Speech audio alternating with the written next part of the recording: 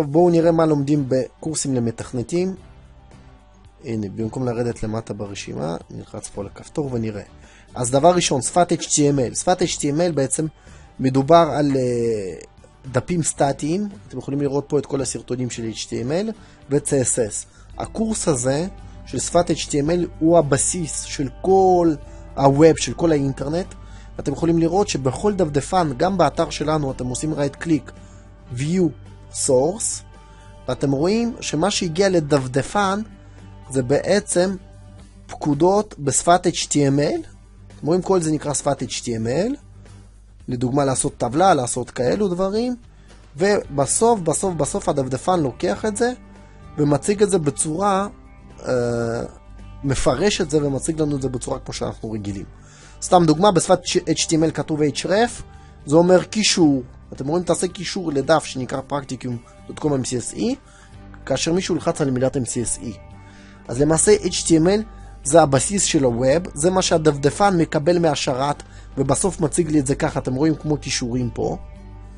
וזה בעצם השפה שבה האינטרנט מדבר, אפשר להגיד, וזה HTML, ולמעשה לא משנה אם יש לנו מייקרוסופט או לינוקס, או לא משנה איזה שרת יש לנו, בסוף מה שנשלח ללקוח בקצה זה HTML, ואנחנו חייבים לשלוט בו. אנחנו צריכים לדעת מה קורה. ופה אנחנו יכולים לראות בדיוק את השפת HTML, ו-CSS זה העיצוב שלה. אתם רואים שזה יותר רחב, יותר צר, איזה צבע. אתם רואים, אתם רואים, אני עובר על זה, זה צבע אדום נהיה. זה נקרא הובר. אז אתם תלמדו איך עושים את זה. וכל מיני סלקטור, בדיוק מה לבחור, ואיזה תגיות יש. תגיות זה איך עושים כפתור, לדוגמה. אתם רואים, יש פה כפתור שלוחצים, שימו לב. כל זה שפת HTML, אוקיי? אז אתם תלמדו את כל הדברים האלה בשפת HTML. אה, ולמעשה זאת השפה של דפדפן מקבל מהאתר ומציג לנו את זה ויזואלית. יפה. אז זה הבסיס, זה היסוד, את זה אנחנו חייבים להכיר. כל הקורסים בתכנות וובי של האינטרנט מתחילים ב-HTML, כי אחרי זה, כשלומדים C-Sharp ו-.NET, למעשה זה כלים יותר חכמים שעוזרים לנו לכתוב קוד, אבל בסוף, הכל בסופו של דבר תמיד נהפך ל-HTML, כי זה מה שהדפדפן מבין. יפה. זה כמו השורה התחתונה, ה-level הכי נמוך, זה HTML. אז יש לנו פה כל מיני דברים, אני לא אדבר איתכם, פלוט זה לדוגמה שהעמודה תהיה מצד ימין או מלמטה או בצד שמאל, עיצובים וכל מיני דברים ש-CSS זה העיצוב, כן? זה סטייל של עיצוב, קסקת סטייל זה בעצם העיצוב של התגיות, כדי שהן לא יהיו סתם פזורות על הדף. אתם יכולים לראות פה לדוגמה שזה פה וזה כאן, אתם יכולים לראות ממש בכל אתר. אז זאת שפת HTML, זה חובה, זה פשוט, זה קליל, אבל זה חובה לדעת, זה הרבה לזכור, HTML הוא לא מסובך, הוא פשוט, אבל פשוט הרבה לזכור. בואו נעבור להבא. הקורס הבא שלנו זה יסודות התכנות ב-C-Sharp. שימו לב, ב-HTML אין מבחן ואין הסמכה, זה בסיס להכל. זה כל כך בסיסי וכל כך יסודי, שזה הפרק הראשון, ולא על כל שטות יש מבחן. המבחן הוא על נושאים מהותיים. אין uh, מבחן על ה-HTML, ואין שום הסמכה על זה, לפחות uh, לא כתעודה נפרדת. אוקיי, okay, יפה. יסודות התכנות C-Sharp, זה בעצם פה לומדים את כל היסודות התכנות, מה זה משתנה, מה זה זיכרון, איך עושים Eastern else, uh, כל ה... מה זה פונקציות, מה זה לולאות, כל הדברים הבסיסיים ב-C-Sharp. בעצם לומדים פה תכנות, זה פחות קשור לווב, זה פשוט הבסיס שלנו לקפוץ למשהו אמיתי באמת אחרי זה, אחרי שאנחנו נלמד את היסודות האלו, שזה ASP.NET. ASP.NET זה בעצם השפה האמיתית שאנחנו רוצים לתכנת בה, שזאת השפה של .NET לאינטרנט. אבל לפני שאנחנו יכולים לתכנת ב-.NET, צריכים לדעת את היסודות של התכנות. אז היסודות של התכנות מתחלקים לשני חלקים.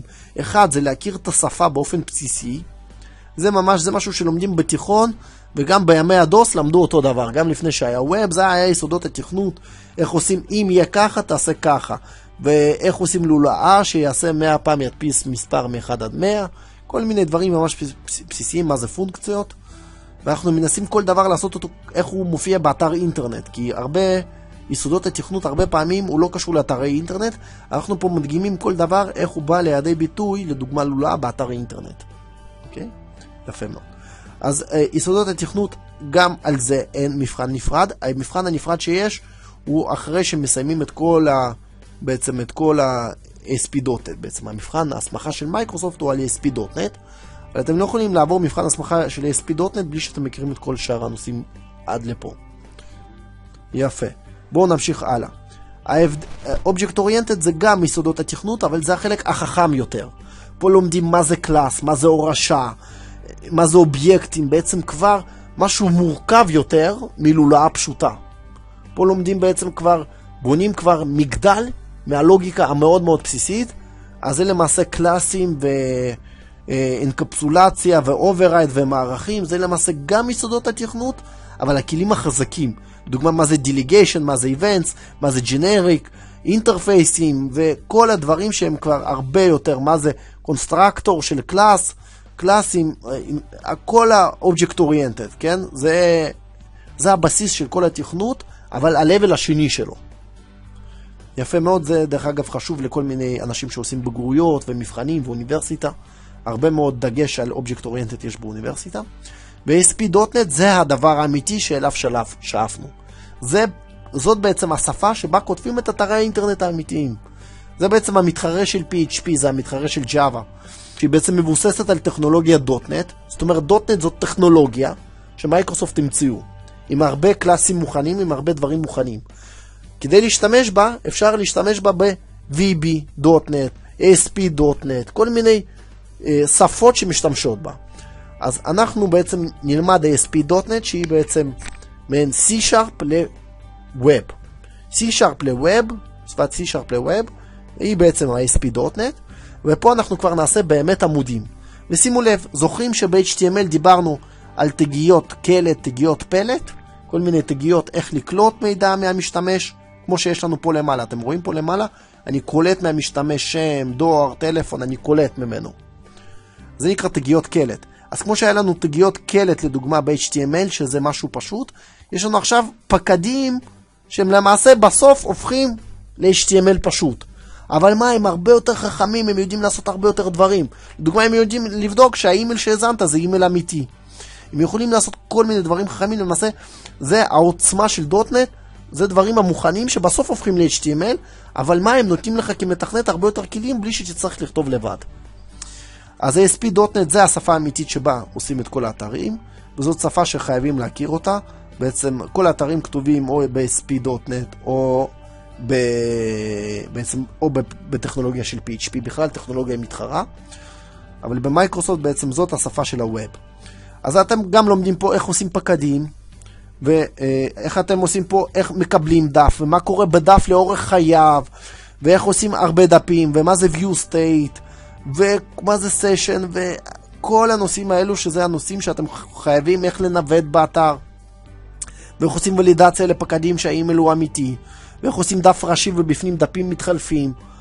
למעשה אתם קאש, או uh, מה זה קאש, בקיצור סשן, אתם לומדים את כל הדברים, זה כבר התכנות האמיתי, זה הלב, לבו של הקורס, נמצא פה ב-SP.NET, אתם תראו כבר אה, בעצם את ה...